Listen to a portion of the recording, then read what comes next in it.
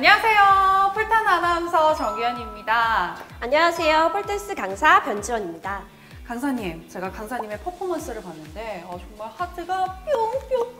어쩜 그렇게 섹시하고 아름답고 멋있고 어떻게 하면 그렇게 잘 탈 수 있는 거예요? 사실 폴댄스 실력에 관해서는 여러 가지 변수가 있는데요.